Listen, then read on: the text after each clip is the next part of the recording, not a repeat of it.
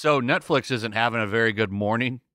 I want to show you what's going on with them. I don't think the market has opened just yet, but what's going on with their stocks is pretty crazy. So yesterday, it closed at $508. But the after hours saw a pretty big plunge. When it opens, it's going to open at $405 they lost over a hundred dollars in stock value or 20% in one night. That's a steep, steep drop. Look at that slope. Oh, so the reason that this happened is because they announced that they didn't quite hit the numbers that they were looking for. And they didn't even miss it by that much, to be honest. Netflix investors have been worried uh, that the company isn't adding subscribers fast enough, and today they started to panic. After Netflix reported lower than projected subscriber additions for the first for the final quarter of 2021, its stock plummeted nearly 20%. The plunge was the lowest the stock had dropped since June of 2020, CNBC noted. Last quarter, Netflix had forecasted that it would report 222 million paid subscribers by the end of last year. Instead, the company reported Thursday that it ended the fourth quarter with 221.84 paid memberships. It's a small difference, but investors have been worried about Netflix, already one of the biggest streaming companies out there, being able to find new ways to keep growing. And by Netflix's own estimates, subscriber growth is going to be low next quarter as well. The company estimated that it would add 2.5 million subscribers in the first quarter of 2022, down from 4 million during the same period last year. So let's talk about this. Look at that. So they thought they were going to get 222 million. They got 221 million, and that was enough to stay to to make the stocks fall that low. They didn't miss it by that much, and it lost over a $100. That's insane. But here's the problem Netflix is running into how many more people can they get? You know, I think what they, they might get some churn people to come back once in a while.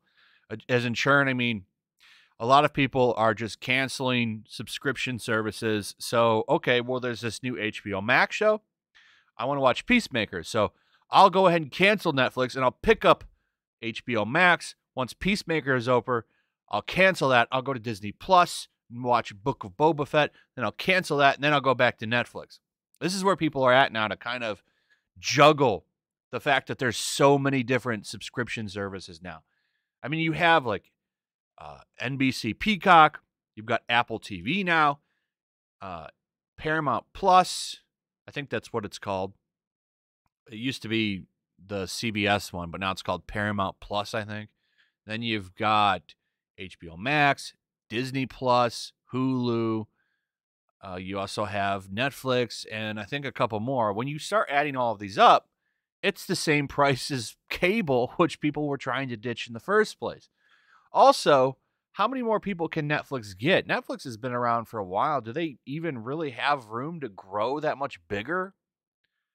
I mean, what what can you do to get people on here? That's why they're trying to get so much new material on the the platform is because a lot of a lot of Hollywood is making their own services now. So like all of those back movies that they used to have are going away. So they're kind of in an interesting spot. I think growth is going to be slow for a lot of these companies, and a lot of them will fold as well. I, I think quite a few of them are going to fold over unless they can figure out how. Like, I think if they can work in a, like a free service, that would help. I think that's what Peacock does. So I think you can watch all of Peacock for free, but you'll get commercials. So that's like an interesting way to juggle this. But it's crazy to me. They didn't lose that much stock. They didn't lose that much off their prediction, and they lost a hundred bucks. It's pretty crazy. So, the main thing of this article here is that investors are worried that they're not going to grow. Netflix is in a weird position, so we'll see what happens with them. I wanted to go to one more thing before I end this video. That's that M&M's got inclusive. So, uh, here's the thing: when you do this, when you try to pander, it's never going to be good enough. And people are already complaining about this. So here's the Daily Beast, one of the wokest of woke sites. And they're saying, okay, thanks for nothing. Go, girl, give us nothing. So this is the stupidest thing I've ever seen M&M do. These are M&Ms. They're not real people.